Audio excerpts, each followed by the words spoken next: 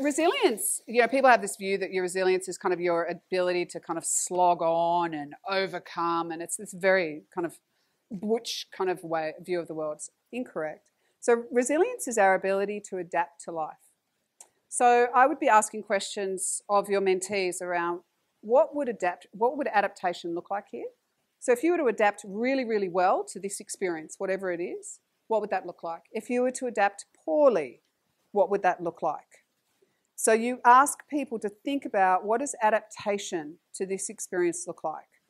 So one of the ways that you can see if people are adapting or not is where they spend their time. If somebody's stuck in the past, what they're demonstrating is that they have not adapted to whatever that event was. Now, that doesn't make them a bad person. That's just, for whatever reason, they have not been able to adapt. Therefore, they haven't integrated that experience. Therefore, they're still talking about it 34 years later, right? Because it had such a big impact on them. So I'd be asking them questions about what would it take to adapt, and then talking about how resilience is our ability to adapt to life. That is the definition of it.